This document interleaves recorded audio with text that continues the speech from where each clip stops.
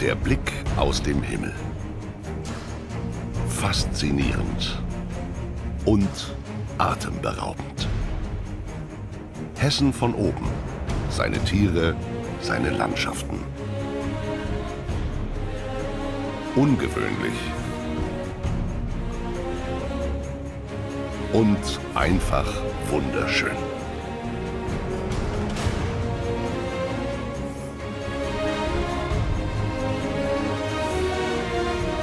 Steigen Sie ein und erleben Sie Hessens Tiere und Landschaften aus nie gezeigter Perspektive.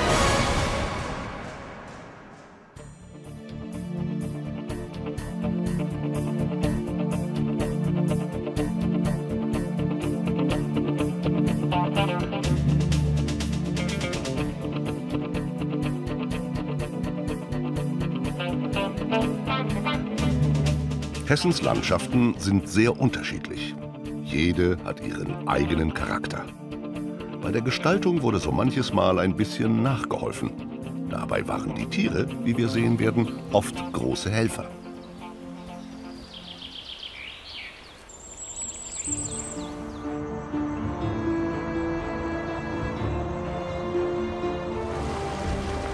Viele Tierarten sind nach langer Abwesenheit nach Hessen zurückgekehrt.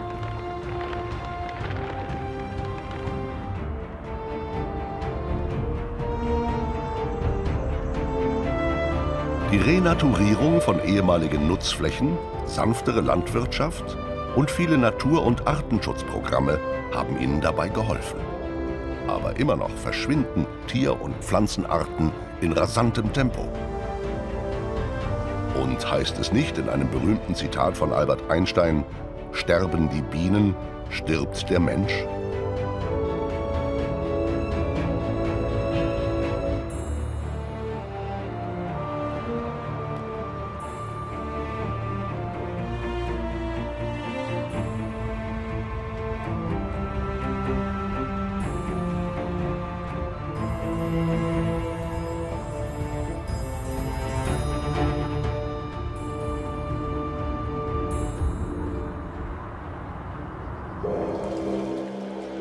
Viele Tiere werden wir auf unserer Reise durch Hessen treffen. In ihrem und im vom Menschen gemachten Lebensraum.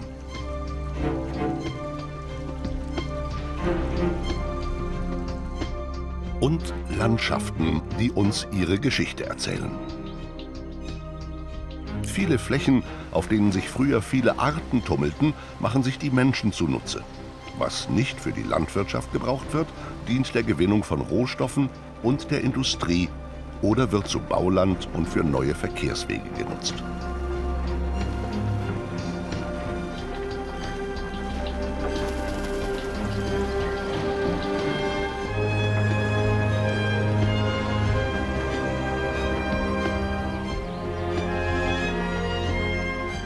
Der größte Reichtum der Erde sind ihre verschiedenen Lebensformen. In Hessen wurde viel getan, um die alte Partnerschaft zwischen Mensch, Tier und Natur zu erneuern. Mal mit mehr, mal mit weniger Erfolg.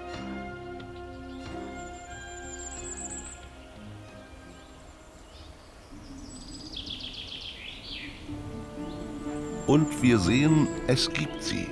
Tiere, die man für verschwunden hielt. Und Landschaften, in denen es vor ein paar Jahren noch ganz anders aussah.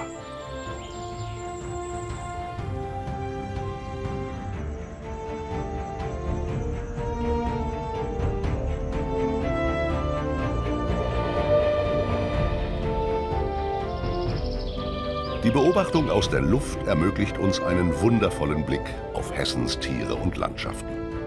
Wir werden sehen, wo die Tiere uns bei unseren Bemühungen helfen.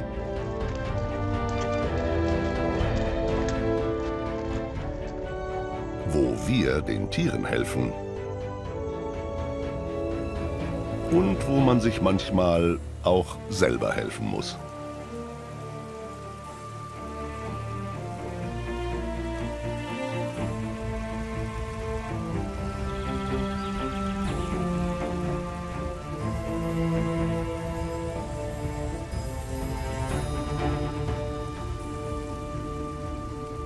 Ganz im Norden Hessens beginnt unsere Reise. Hier befindet sich Hessens ältestes Naturschutzgebiet, der Urwald im Reinhardswald. Seit 1907 dürfen hier 400-jährige Eichen und Buchen wachsen oder umfallen, ganz wie sie wollen. Kein Förster mischt sich ein. Bemerkenswert daran ist, dass es streng genommen gar kein Urwald ist. Der lichte Wald wurde einst gepflanzt, um Schweine darin zu weiden.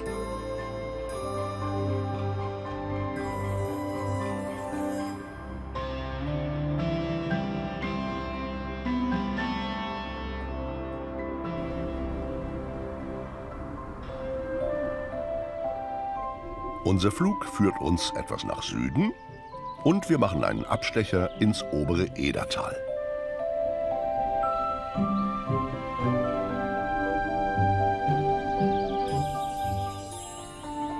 Neben uns kreist der seltene Schwarzstorch, der hier wieder zu Hause ist. Zwischen 50 und 70 Brutpaare gibt es wieder in Hessen.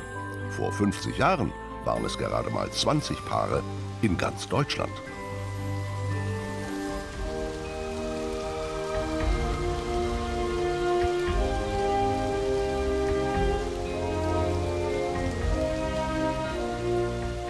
Hier an der oberen Eder vertragen sich Mensch und Natur offenbar gut.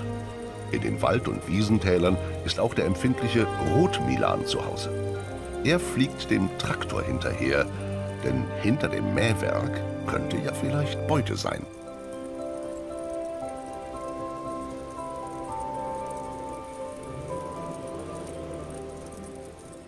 Drüben auf dem Berg finden wir eine ungewöhnliche Landschaft. Lüneburger Heide in Nordhessen. Mit seinen Wacholdersäulen und Heidesträuchern sieht der Battenfelder Driescher ja ein bisschen so aus.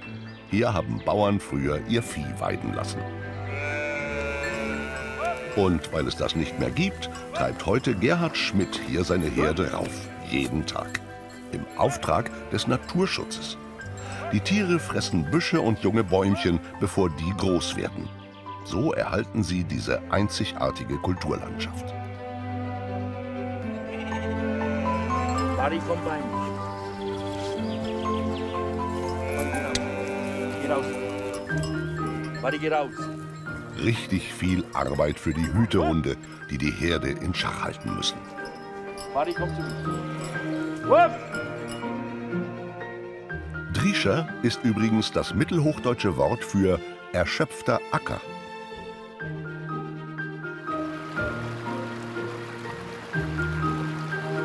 Wir folgen der Eder noch ein Stück. Immer noch hat die Natur hier gute Chancen. Vielleicht ist die Eder sogar der natürlichste Fluss im ganzen Land. Ein Fluss, dessen Landschaften seit eh und je von Menschen gepflegt und genutzt werden und der doch der Natur so viel Raum gelassen hat.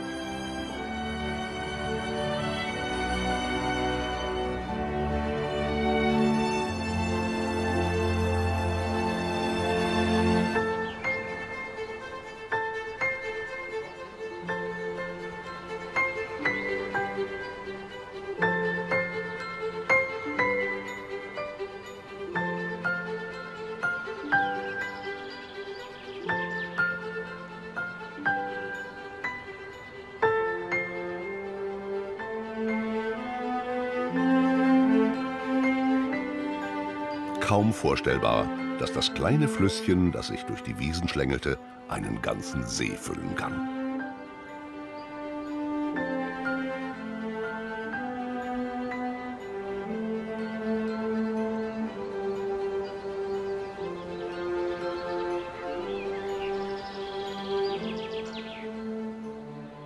Gewaltige 200 Millionen Kubikmeter Wasser können im Edersee aufgestaut werden.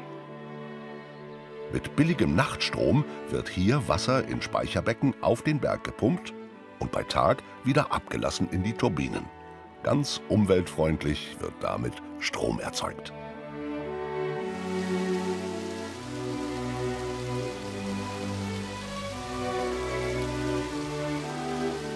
Hessens Nationalpark mit dem fast 700 Meter hohen Wüstegarten schmiegt sich südlich an den Edersee. ungestört und noch ganz ohne Windräder. Auf weiten Flächen wird das so bleiben, denn fast 6000 Hektar des Kellerwalds sind streng geschützt und sogar zum UNESCO-Weltnaturerbe geadelt. Über 700 Meter hoch liegt das Plateau des Hohen Meißners, ganz im Osten Hessens. Und nochmal 200 Meter drüber die Antennen der Sendeanlagen des Hessischen Rundfunks. So etwas wie die Wahrzeichen hier oben.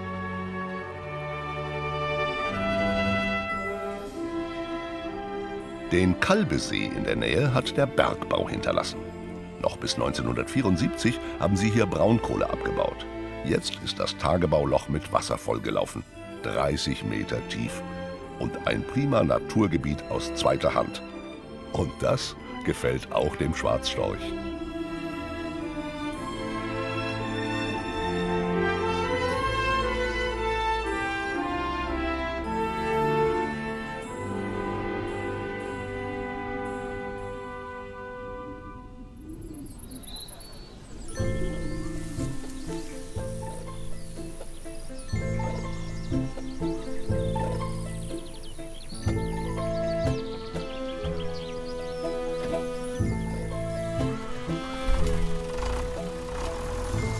Bei Germerode hat ein Landwirt eine besondere Attraktion geschaffen.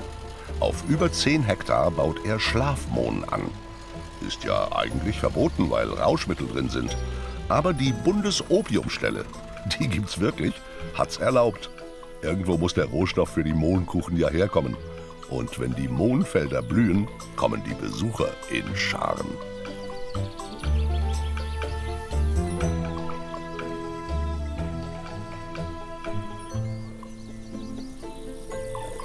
Und mit einem rosa Schirm, ganz Ton in Ton, entstehen wahrhaft feminine Bilder.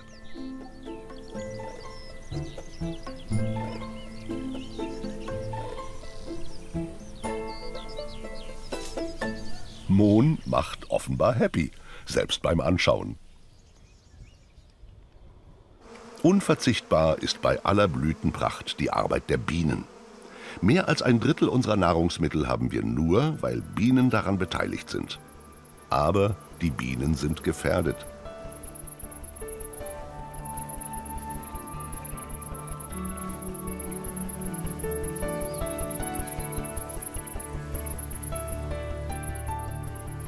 In Witzenhausen im Werra-Meißner-Kreis gibt es dank der ausgedehnten Kirschbaumplantagen genügend Nahrung für Bienen. Bei der hessischen Gartenbauberatung überlegt man sehr genau, welche Pflanzenschutzmittel man empfiehlt, damit im Kampf gegen Schädlinge keine Bienen geschädigt werden.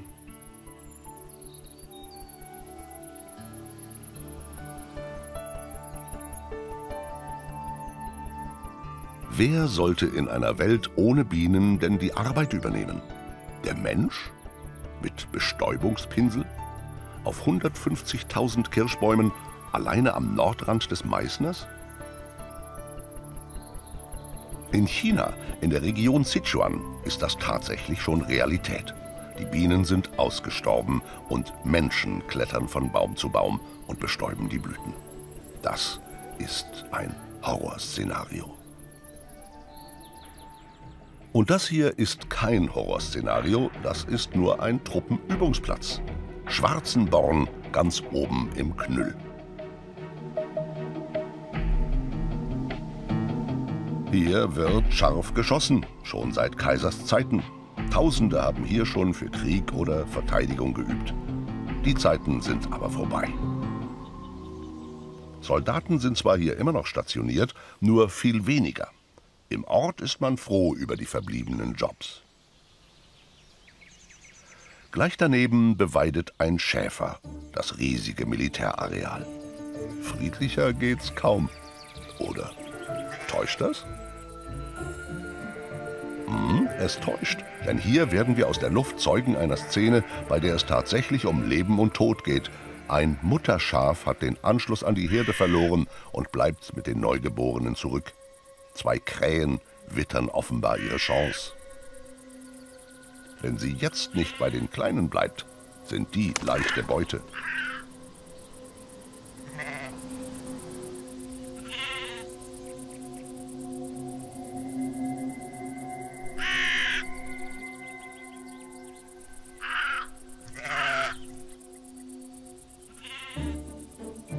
Die Lage scheint erstmal geklärt. Und wenn die Herde nicht weiterzieht, können sie den Anschluss schaffen.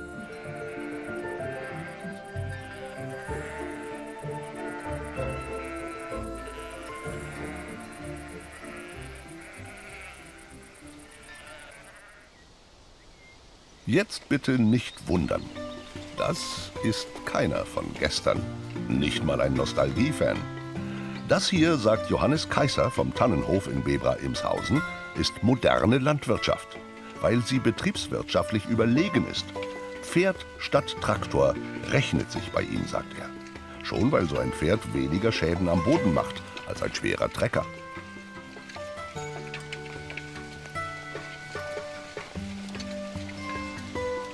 Biokräuter baut der Landwirtschaftsmeister hier an. Minze oder Brennnesseln für Tee. Die kaufen Händler bundesweit. Dafür muss das Unkraut raus. Ohne Chemie natürlich. Hermann, das Kaltblut weiß, nicht auf die grünen Büschel treten. Und ganz manchmal hat Johannes Kaiser auch noch den Trecker im Einsatz.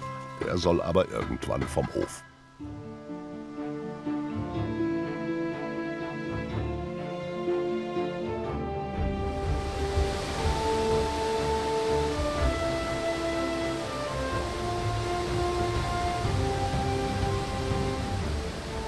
Wir sind an der Fulda angelangt. Kaum ein Fluss ist hessischer. Von ihrer Quelle an der Wasserkuppe bis fast zum Zusammenfluss bleibt sie im Land und sie gilt damit als Hessens längster Fluss.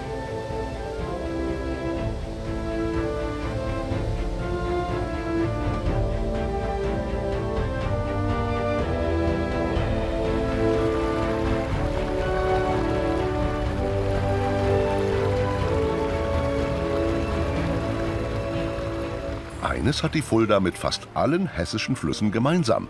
Sie hat es nicht besonders eilig, zu ihrer Mündung zu gelangen. Sie legt Schleife an Schleife, Kurve an Kurve, als wollte sie der Natur ihre Ruhezonen bewahren.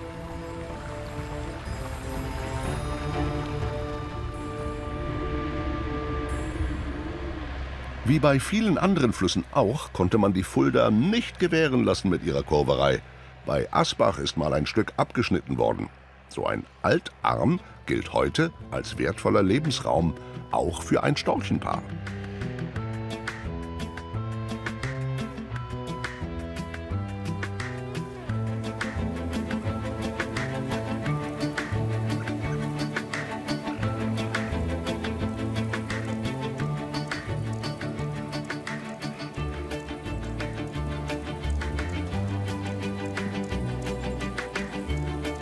Was für ein grandioser Platz für die Storchen-Kinderstube.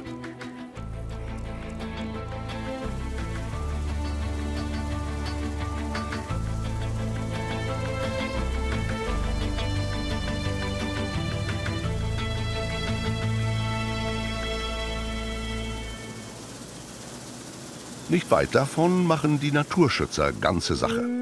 Sie haben für die nassen Bruchwiesen eine Herde Heckrinder gekauft. Die halten jetzt die Wiese kurz. Ihr Mist zieht Würmer und Insekten an, von denen sich dann wieder seltene Vögel oder Fledermäuse ernähren. Die robusten Tiere sollen den im 17. Jahrhundert ausgestorbenen Auerochsen ähnlich sehen.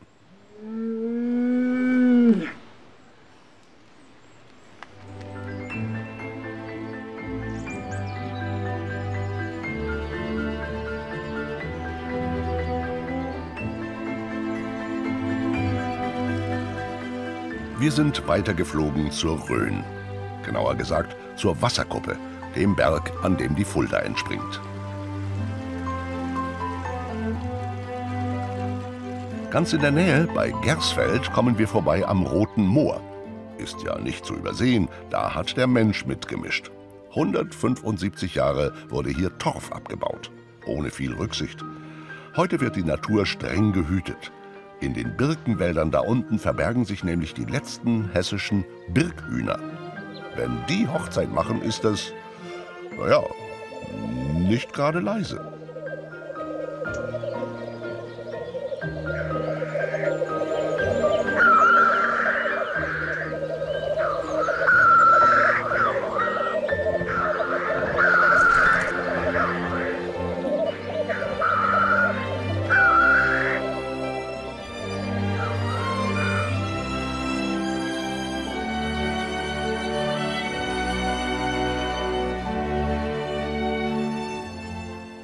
Land der offenen Ferne nennt man die Rhön. Stimmt auch wirklich. Wo kann man schon so weit schauen?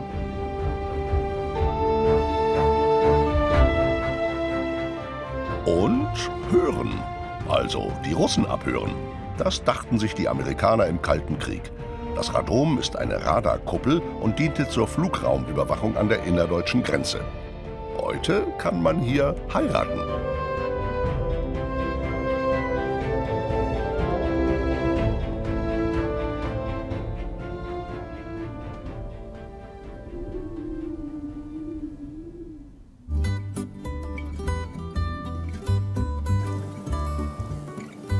Keine Rhön ohne Schafe. Das stimmt in vielerlei Hinsicht. Das Berggrünland der Rhön, die offene Ferne, entstand, weil sie von Schafen beweidet wurde.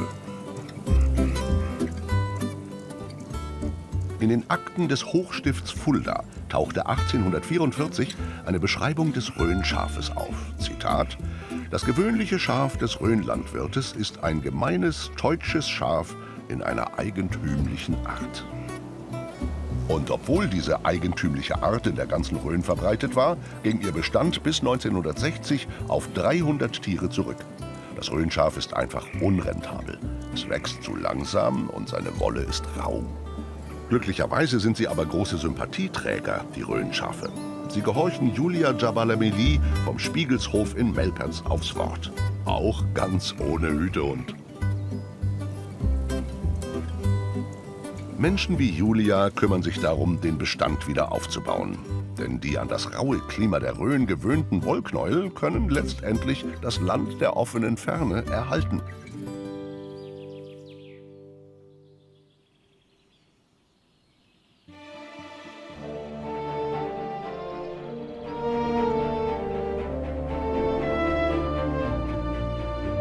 Unsere Reise führt uns nun über den Vogelsberg. Er ist die größte zusammenhängende Basaltmasse unseres Kontinents. Das klingt ganz schön gewaltig. Ist es auch, denn der graue Basaltstein ist nichts anderes als die erkaltete Lava eines riesigen Vulkangebiets. Basaltböden sind übrigens optimal für Buchen. Um die höchste Erhebung, den Taufstein, findet man ausgedehnten Buchenwald, der seit über 100 Jahren sich selbst überlassen ist.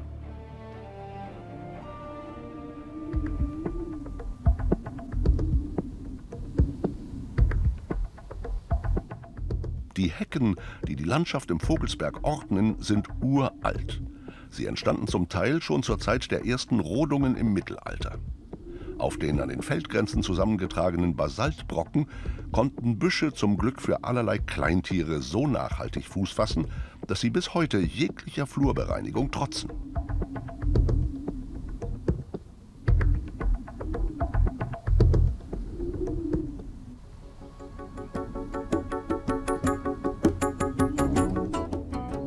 Der Wetterau gibt es wenig Wald und deshalb viele Seen. Wer kein Holz zum Heizen hat, braucht einen anderen Brennstoff. 200 Jahre lang wurde in der Wetterau deshalb Braunkohle abgebaut. Übrig blieben die Seen, von denen einige wie der Teufelsee und der Pfaffensee heute Naturschutzgebiete sind.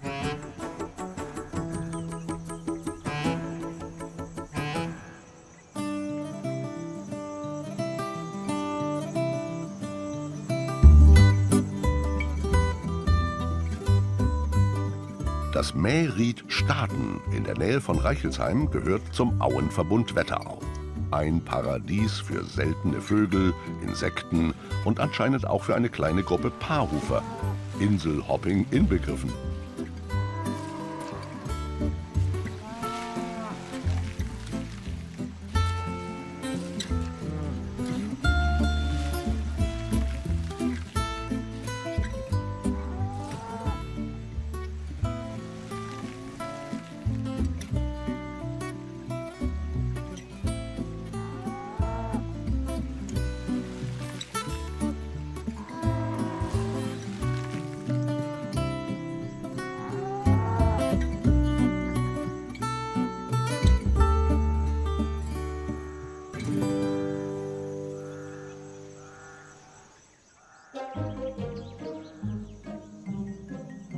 Das Kernstück des Auenverbundes Wetterau ist das Bingenheimer Ried. Viele Storchenpaare treffen sich hier jedes Jahr mit Entenvögeln, Gänsen und Graureihern, um ihren Nachwuchs aufzuziehen. Möglich gemacht hat das alles die NABU-Gruppe aus Bingenheim. Der Vorsitzende Udo Säum, hier links im Korb, pirscht sich gerade an ein Nest mit Jungstörchen heran, die heute beringt werden sollen. Das muss zwischen der sechsten und achten Lebenswoche passiert sein, da sie sonst nicht mehr in die Akinese fallen.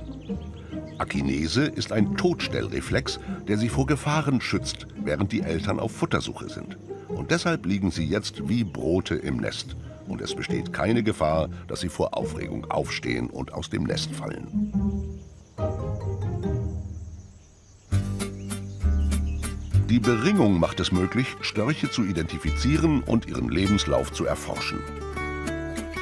So wie zum Beispiel den von Xaver, einem Storch mit der Ringnummer 2X151. Xaver stammte aus der Schweiz. Er war ein sehr besitzergreifender Storch. Er verteidigte nicht nur seinen Horst, sondern gleich alle 15 Nester im Bingenheimer Ried. Danach zeigt er ein für einen Schweizer recht draufgängerisches Wesen, spannt einem Storch in Randstadt die Frau aus und überredet sie sogar, ihm ins Bingenheimer Ried zu folgen. Der erzürnte Ehemann erobert seine Liebste aber zurück.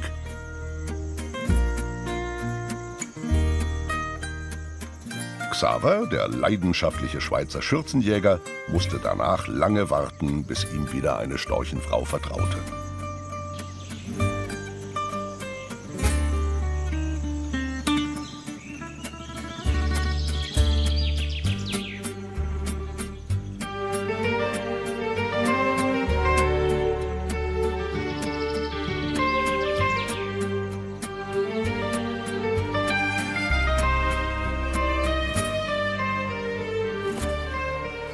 Etwas südlicher, in der Nähe von Hanau, erwartet uns ein Hauch von Fernost. Asiatische Wasserbüffel in Hessen. Wasserbüffel können anders als unsere heimischen Weidetiere mit den Füßen im Wasser stehen. Sie sind nicht so schwer und ihre Hufe sind breiter. Ideal für das Leben in Sumpfgebieten. Das Gebiet der Weideswiesen bei Erlensee drohte komplett von ein Meter hohen, undurchdringlichen Wasserbinsen überzogen zu werden, bis die Büffel kamen. Binsen sind nicht als Nahrung für Pferde oder Kühe geeignet, aber der Magen eines Wasserbüffels kann sowas ab. Die Binsen werden abgebissen und beim Suhlen plattgedrückt. Und schon haben Amphibien, Insekten und Vögel wieder einen Lebensraum.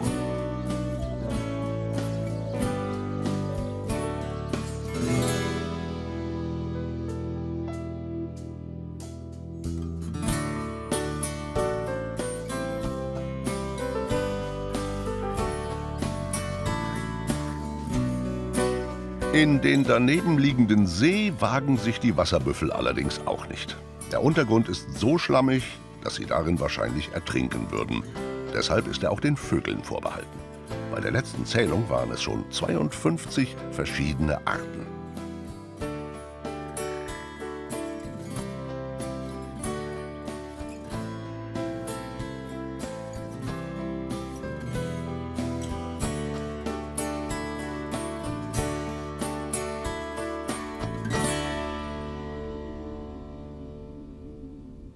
Und wenn wir schon beim Thema Ertrinken sind, die Geschichte der wohl berühmtesten geplanten Müllkippe Hessens in Messel beginnt vor 47 Millionen Jahren.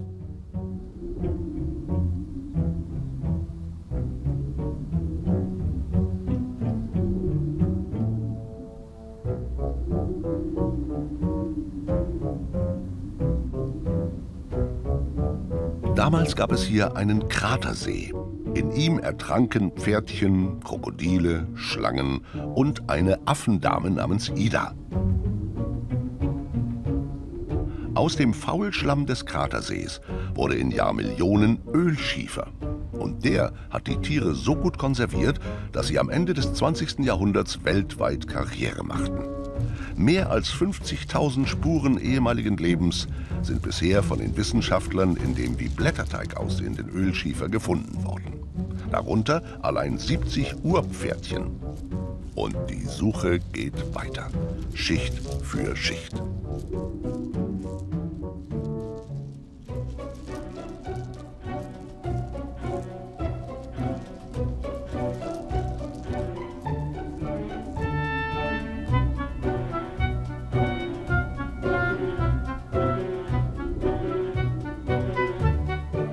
Waldschiefer wurde rund 100 Jahre lang in der Grube Messel zur Mineralölgewinnung abgebaut. Immer schon gab es vereinzelt Fossilienpfunde. Doch das Potenzial der Grube wurde fast zu spät erkannt.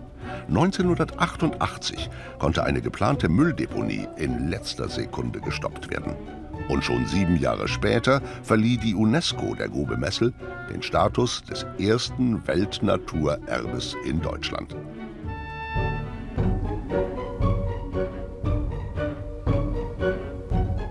Die weißen Klippen am Rande der Grube sind eine Ausschusshalde der Firma Ytong. Ende der 50er Jahre war die Grube in den schwedischen Konzern eingegliedert worden. Der nutzte damals einen Teil des Ölschiefers zur Herstellung seiner Porenbetonsteine.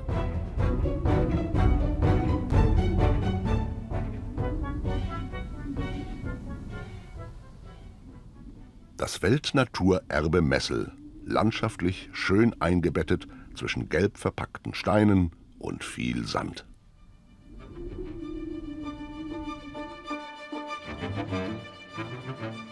Wir bewegen uns jetzt wieder Richtung Norden. Mitten im Forstamt Nidda, auf dem Wald des Limes, steht stolz die alte Drusus-Eiche. Sie ist ja auch benannt nach dem großen römischen Feldherrn Nero Claudius Drusus. Erst im Winter erkennt man ihre imposante Größe.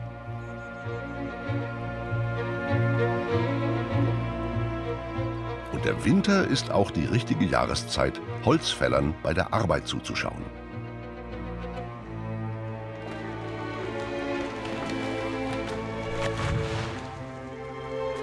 Jürgen Burg arbeitet mit Rückepferden bei der Holzernte.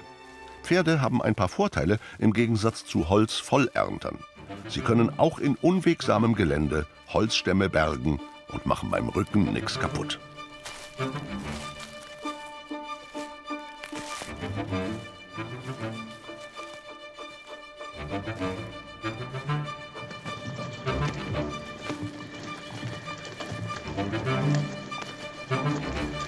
Jonas, das Rückepferd, ist ein 1000 Kilogramm schweres belgisches Kaltblut. Er lebt bei Jürgen Burg.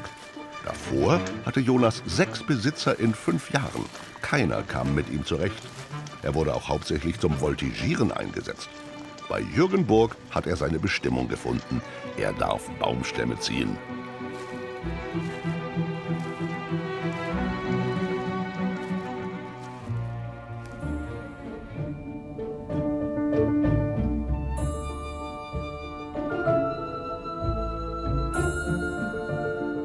Nicht weit entfernt erwartet uns der Mont Blanc des Rhein-Main-Gebietes, der große Feldberg im Taunus. Für viele Hessen ist der Winter hier die schönste Jahreszeit.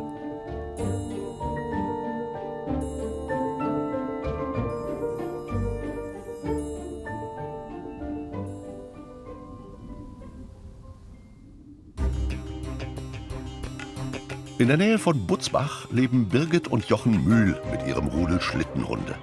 Und natürlich ist der Winter ihre Jahreszeit. Rund um den Hausberg rasen sie mit ihren Schlitten durch den Schnee. Dabei können sie Spitzengeschwindigkeiten von bis zu 40 km pro Stunde erreichen.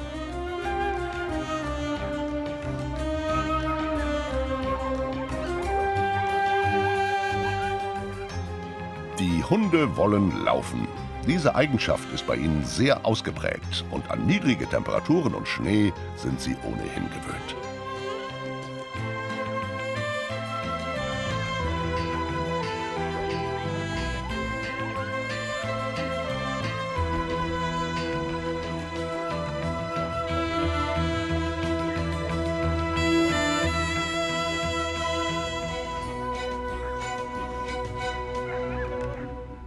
Ganz in der Nähe, am Fuße des Feldbergs, toben drei absolute Newcomer in Sachen Schnee im Opelzoo.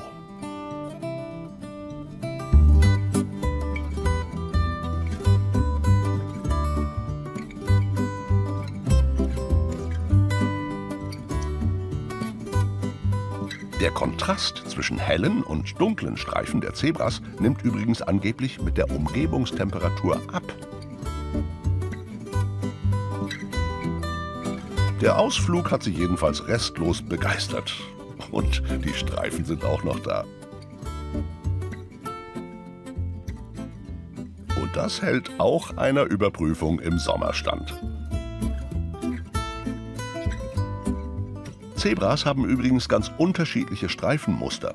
Sie sind so verschieden wie ein Fingerabdruck bei einem Menschen. Und die Tiere erkennen sich gegenseitig an ihrem Muster.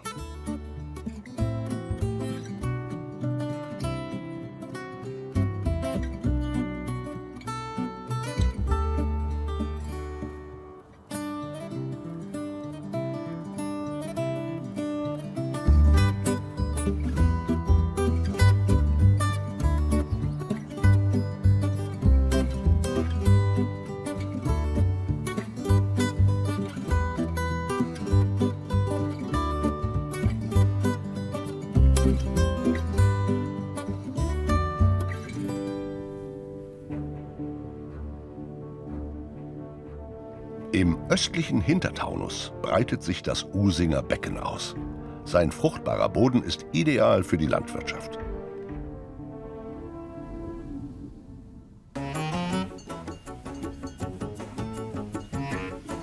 Dort treffen wir auf eine Ziegenherde. Im Unterschied zu den gemütlichen Schafen scheinen es die Ziegen ja etwas eiliger zu haben beim Fressen. Fastfood-Weiden sozusagen.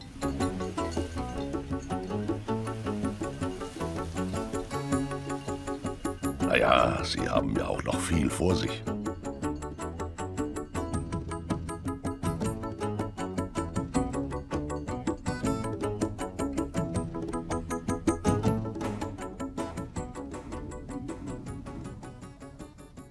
Wir verlassen den Taunus und finden uns in der Nähe von Biedenkopf wieder. Dort, wo die Lahn als kleiner Fluss aus dem Rothaargebirge nach Hessen fließt.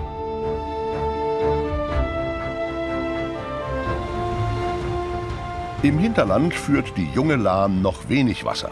Sie verzweigt sich gern, als ob sie ihr Bett noch sucht.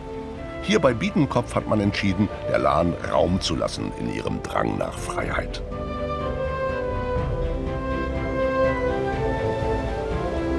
Projektname Renaturierung der Lahnaue. Und so etwas Schönes kann sie schaffen, wenn man ihr die Freiheit gibt.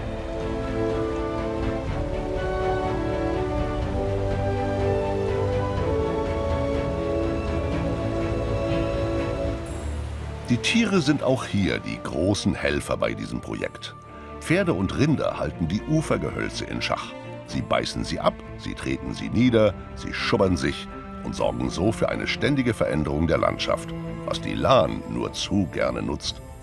Verantwortlich für dieses Projekt sind engagierte Menschen wie Matthias Schneider vom BUND, aber auch Dr. Becker, Landarzt und Landwirt.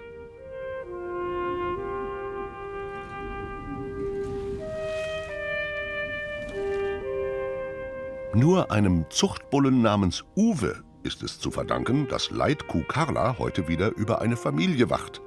Ein Spermavorrat von Uwe wurde nämlich zufällig in Gießen entdeckt.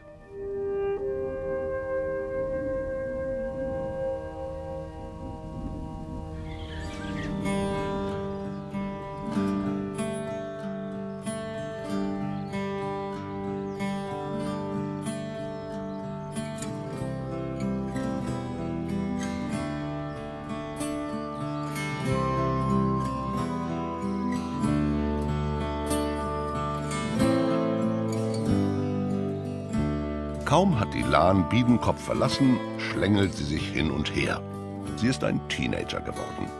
Noch wild. Und wie jeder Pubertierende hat sie chaotische Verwilderungstendenzen. Das konnten die Menschen natürlich nicht gestatten. Ein Fluss, ein Bett, so das Motto. Doch die Lahn rächte sich mit verheerenden Hochwassern und Schäden in Millionenhöhe.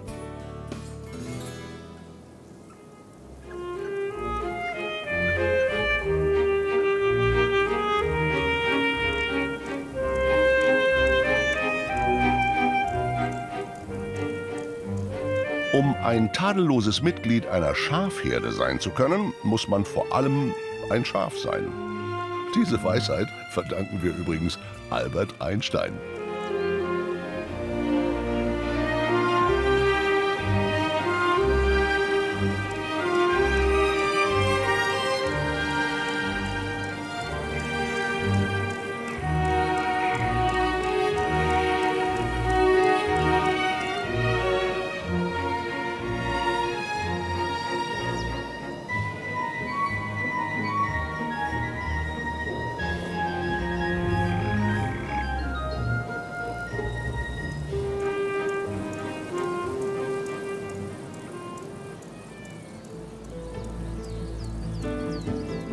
Zurück zum Hochwasserschutz. 1860 schon hatten königlich preußische Wasserbauingenieure das Geflecht der Lahnarme vermessen und dafür gesorgt, dass die Lahn auf ein unauffälliges Einbettgerinne schrumpft. Das Ergebnis kennen wir, verheerende Überschwemmungen. Bei Kaldern hat man, genau wie in Biedenkopf, durch die Renaturierung der Aue ein riesiges Becken zurückgewonnen, in dem man das Wasser bei Bedarf regelrecht parkt.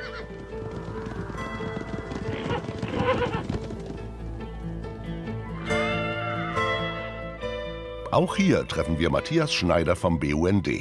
Seine Aufgabe besteht eigentlich nicht darin, Pferde zu dirigieren, vielmehr diese wunderbaren Kulturlandschaften neu zu formen.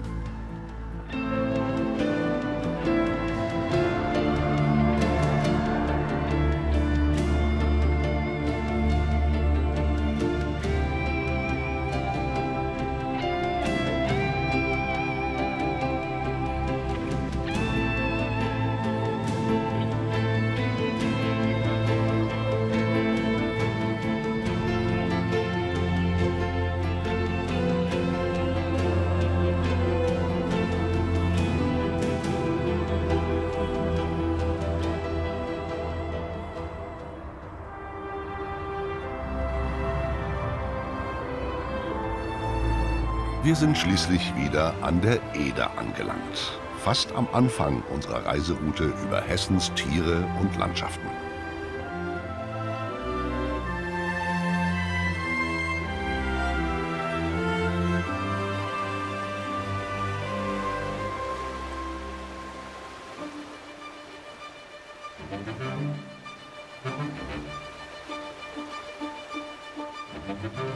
Hier treffen wir diese zwei Rehe. Ihnen ist offenbar irgendwas nicht ganz geheuer.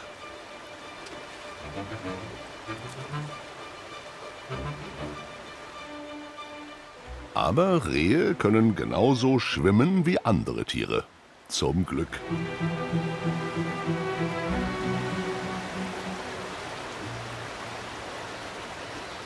Vieles haben wir ganz neu gesehen und auch wie wichtig das Verhältnis Mensch, Tier, Natur ist. Denn ohne die Tiere und seine Landschaften wäre Hessen eben nicht das Hessen, das wir alle so mögen.